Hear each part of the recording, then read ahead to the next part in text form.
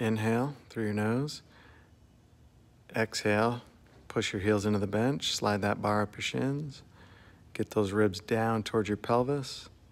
Keep the bar on your shin. Hold right there. Take another breath of air in. Feel those abs engage and get that air into your back. Exhale, ribs down towards the pelvis.